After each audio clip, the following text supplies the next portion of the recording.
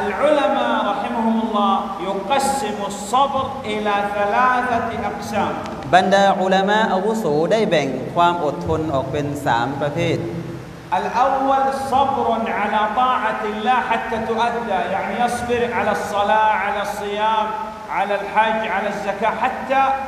يعمل بها نعم ประการที่หนึ่งครับ อดทนในการต่ออาเชื่อฟังอัลลอฮ์สุบฮานะฮูวะตะอาลา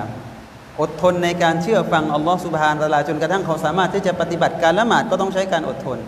ถือสินอดก็ต้องใช้การอดทน การจ่ายสกาดการไปทำฮัจญ์อิบาดัตทุกอย่างต้องใช้การอดทน الثاني الصبر عن معصية الله يعني يبتعد عن المعاصي والذنوب والمحرمات อดทนประการที่สองจะต้องอดทนให้หลีกห่างจากการทำสิ่งที่เป็นการฝ่าฝืนอัลลอฮ์สุบฮานะฮูวะตะอาลาที่เป็นสิ่งต้องห้าม เป็นสิ่งที่เป็นมุอซิยัตทั้งหลาย ก็จะต้องอดทนเหมือนกัน يعني لابد أن يبتعد عن شرب الخمر عن الربا عن الزنا عن الفواحش อย่างเช่นเราต้องอดทนจากการที่จะไม่ดื่มสุรา ไม่ทำซีนา ไม่ลักขโมย ไม่ทำความชั่วช้าต่างๆ จะต้องอดทน الثالث الصبر على أقدار الله ما يقدر الله العبد مرض أو فقر أو حادث أو موت ولد نعم ประการที่สามครับอดทนต่อกฎกำหนดสภาวะของอัลลอฮฺสุบฮานะฮูวะตะอาลา